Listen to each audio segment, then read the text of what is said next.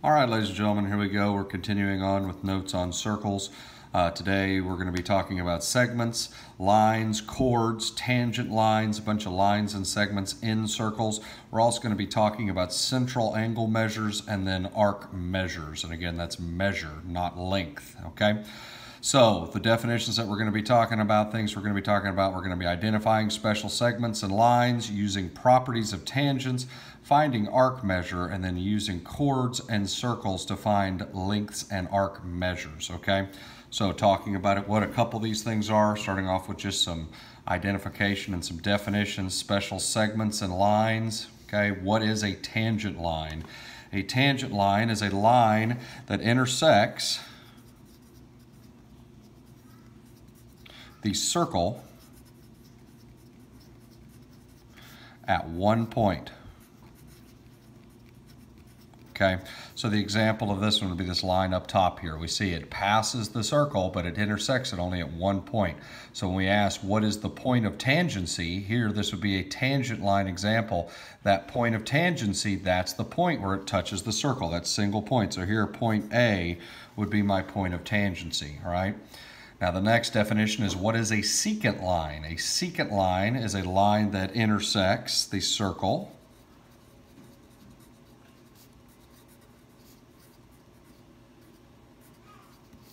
at two points. Okay, so an example would be like line EB here. You see secant line, it has arrows on both sides. It hits the circle at two different points, E and B. So the example that we would draw here would be line EB. And again, we're putting arrows on that because it's a secant line. When we name it, we have arrows on the name, okay? Now, some older ones that we've done in the past, we have a radius, a diameter, and then we're going to talk about what a chord is and how it's similar to a secant line, but a little different, okay? So radius, that is just the distance from the center of the circle to the edge. So this would be like line segment SC here, or you could do line segment SD given to you, starts at the center, goes to the edge. The diameter, of course, next one would be all the way across. So this would be the line segment DC or line segment CD. You know, order doesn't matter when you're naming a line segment, okay? So that's old basic stuff. We know that. Now, a, what a chord is, guys, a chord is a line segment that's in a circle. It hits both pieces, both parts touch on the outside, okay?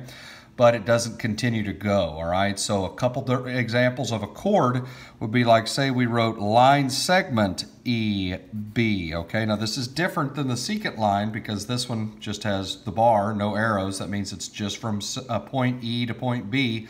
That would be a chord, okay? Whereas a secant line would continue to go, all right? Or we could just name the diameter here, line segment DC. The diameter is a chord, it just happens to go through the center of the circle. So again, a chord is a line segment in a circle that hits on both sides, okay? You see it is C and D, okay? That would be a chord.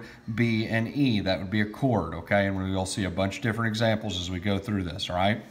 So identifying special segments and lines, I'm gonna do my best, try to keep the example over here as we go through this, all right? First question is name two radii, okay? So you got multiple options.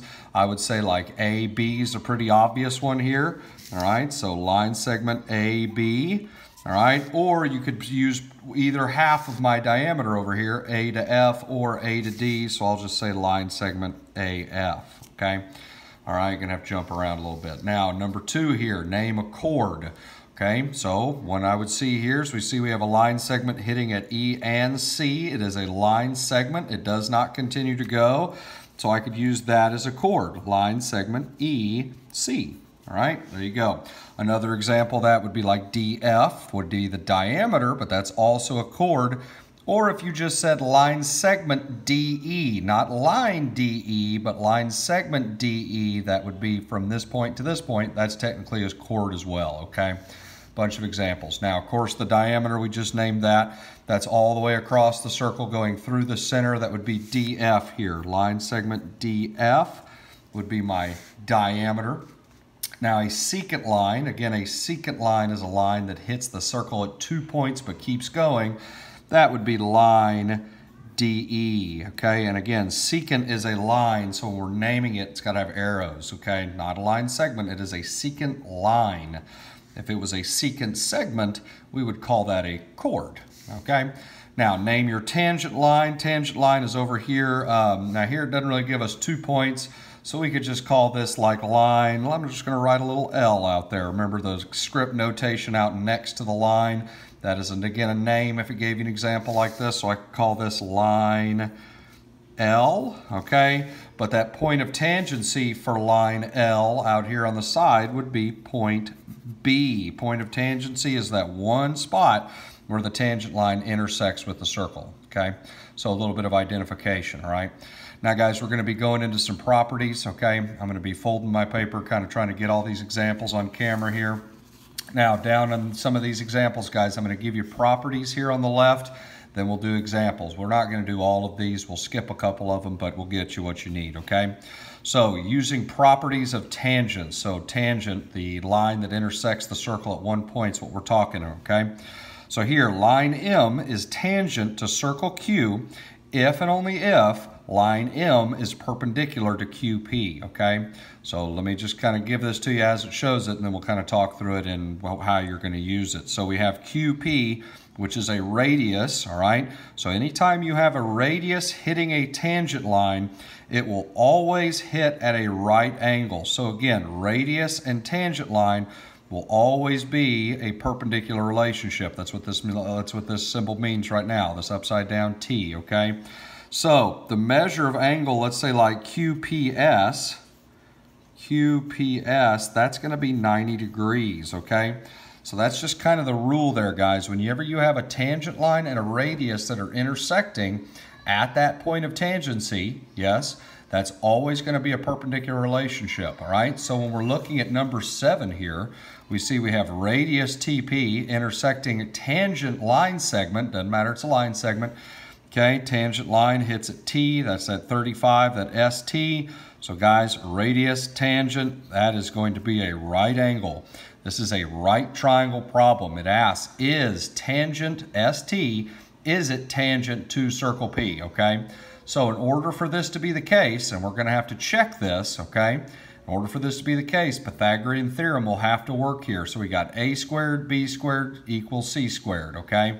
So let's go ahead and set that up. Again, a squared plus b squared equals c squared. We are proving that this is tangent. We're proving that this actually is a right angle, okay? If it works, Pythagorean theorem works, then we're good to go. If not, then no, it's not tangent, okay? So I'll say like 35 squared plus 12 squared equals 37 squared. Again, 37 would be my hypotenuse there, okay?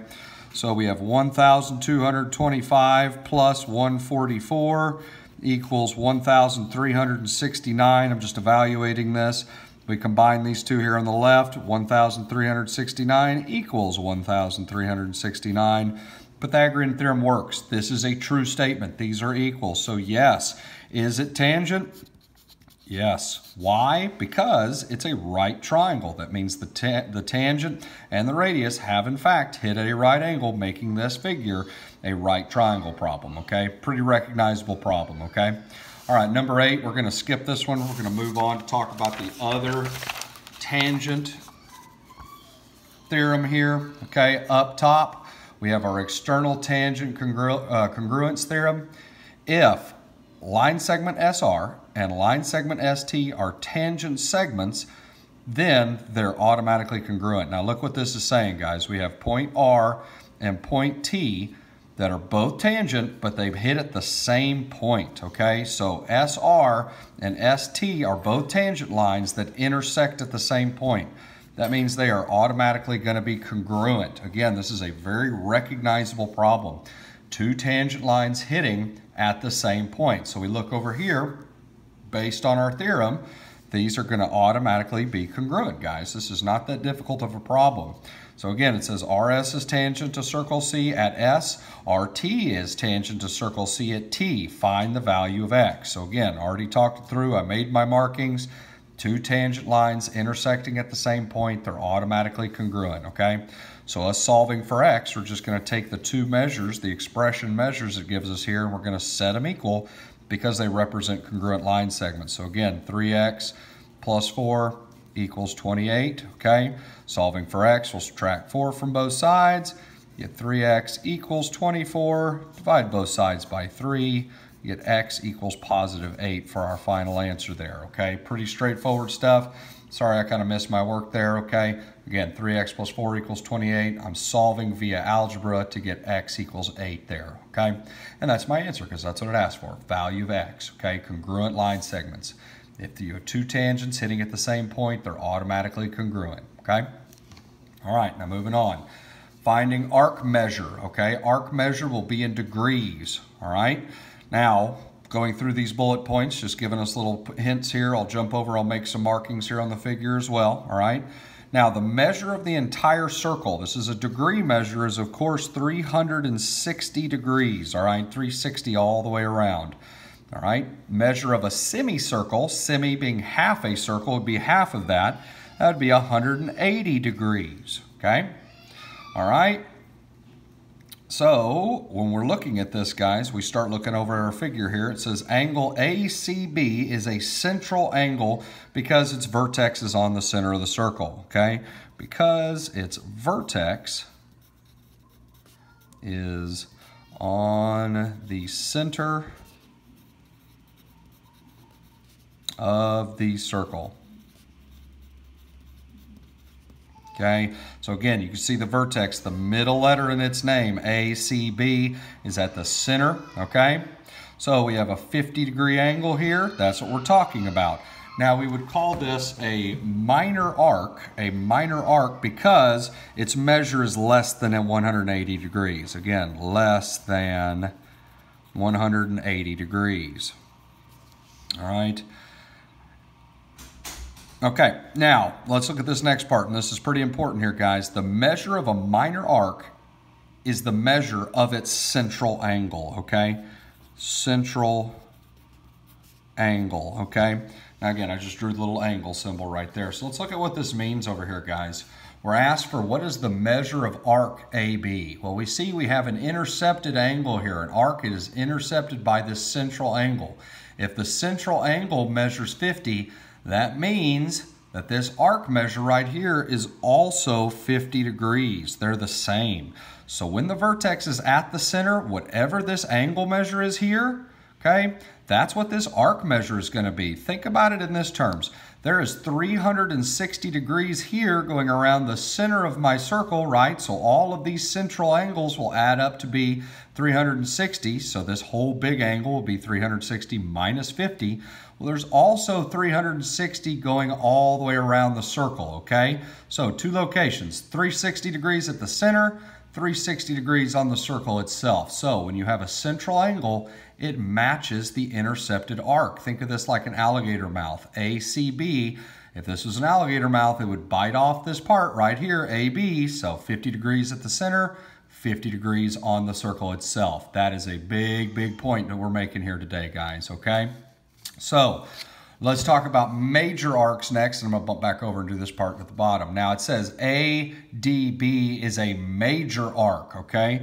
All right, major arc. Now you can tell it's a major arc because it gives you three letters. Minor arcs will only have two letters. Major arcs, okay, we're going from A to D all the way around to B. So this is the remainder of the circle, guys. Again, 360 in the center, 360 on the circle itself, okay? Now, when we look at this, it's a major arc because its measure is greater, greater than 180 degrees. Okay, so again, the measure of a major arc, all right, is the same measure as its central angle. Now look at this, guys, what we're talking about here over on this side. Again, we have 360 degrees in the center, so if we're taking away 50, this would be a 310 degree central angle. So that means there's going to be a 306, uh, 310 degree major arc. Again, the measure of arc ADB is the same as its central angle, so that would be 310 degrees, okay? Everybody see we got going there? Again, this next example will help us a lot on this stuff, guys, okay? As we go through this, make sure you can pause, you can go back and read this, all right? I'm trying to get everything in the film here, guys, but I'm having to jump around a little bit, all right? Doing the best we can. Okay, Now, next portion here, let's do some examples. I'm gonna fold my paper here, try to give you a little bit better look at it, all right?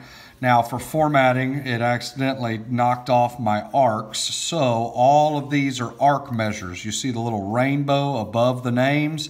That means it's an arc. We're not asked about line segments here, it's all about the arcs. So identify the given arc as a major, minor, or semicircle, and then find the measure of the arc, okay? So this is the figure it gives us. Now the first vital piece of information we have is that AC is perpendicular to BE, okay? So that means this will be a right angle here, this will be a right angle there, right? Now I'm thinking ahead on this figure, guys. Since this is a right angle, that means its intercepted arc is also gonna be 90 degrees. Same thing over here. If BEC is 90, that means arc BC is 90. Y'all see what I'm talking about there, guys? Central angles match the intercepted arcs, okay? Now, next one here, we have a little angle here, a minor arc. Minor arc, so if the central angle is 40, the arc measure is also going to be 40 degrees. You'll see what I'm talking about, guys. I'm marking up this figure before I even start working because it's going to help me in the long run, all right? Now, one thing I do notice, it is important to notice diameters here. AC. AC is a diameter. It cuts this circle in half. Obviously, 90 plus 90 will be 180, so there's half our circle. But we also have another half over here where we have arc AD, all right, and arc DC, which are coming together to make 180 degrees. So we can find this one just by subtracting 40 from 180. So this will be a 140 degree arc measure, which means we have a 140 degree central angle measure. So again, whatever the measure is of the angle at the center, it's going to match whatever the intercepted arc is, okay? Think about the alligator mouse, 90 degrees, 90 degrees, okay? 140 over here, 140 on the outside, same thing okay? So as we go through and look this, this should be pretty quick on this, guys, all right? We already said the uh, measure of arc AB is 90 degrees, so that would be a minor arc, all right? Minor arc. ABC, that would be 90 and 90, that's 180 degrees, all right? So that would be a semicircle, that is half a circle, just write semi. All right, same thing. ABD is that semicircle, plus that extra 40, okay? So we see we're going from A to B all the way around to D. So 180 plus 40, that would give us 220 degrees. That would be a major arc because it's greater than 180, okay? Everybody see what we're talking about? And then of course BC, that's our other 90 degree arc. We found that by the perpendicular relationship there. 90 degrees, that would be a minor arc okay? All right, now same thing down here at the bottom, guys. Again, it says B, A, C. Okay, so we start, look at this. We start at B, we go to A, we come all the way around to C. So this is just gonna be 180 plus 90, all right? Y'all see where I'm getting that from? 180 plus 90. AC here is the 180. BA is the 90, so 90 plus 180, all right? Everybody see what that gives us? That, of course, would give us 270. So 270 degrees there. That would be a major arc, okay? Almost done here, guys. All right, now we have the DAB, D to A to B. Look at this one, measure of arc DAB, starting at D, going around to A, that's 140, all right? Then A to B would be adding 90. So again, 140 plus 90, yes, That'd be a 230 degree angle. That would be a major arc because it's greater than 180. All right, we already said measure of arc AD. We found that at the very beginning by subtracting here because it's a semicircle. 180 minus 40 gave us 140. 140 degrees. That would be a minor arc, okay? And CD, of course, we found that at the very beginning. That would be 40 degrees. That's also a minor arc, okay? All right, a couple more, guys. Um, let's look at this. In circle E, again, that should be circle E, above, tell whether arc ABC and arc ADC are congruent. Explain why or why not, okay? So again, ABC, ADC. ABC, okay, that's a semicircle, either side of our diameter, okay? ADC, well, there it is. It's a semicircle as well, guys. So when I'm looking at this, I see both of these arcs hit at either side of my diameter. That means they're going to be the same because they're both semicircles, okay? So tell whether they are congruent. Yes, they are congruent. Because they are both semicircles.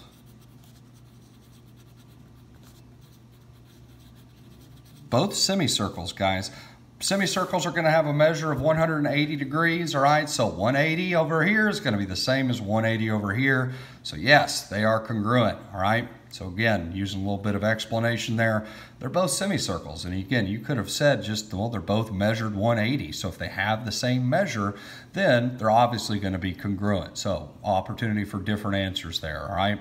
All right, last one, then we're going to take a little pause before we move on to part two. Okay, so we're going to be finding the value of x and then find the measure of AB here, guys. All right, I'm going to set this one up for you. You're going to have an opportunity to work this one out on your own. All right, so it says find the measure of AB, but the first thing we need to do is find the measure of x. Let's look at the circle situation here.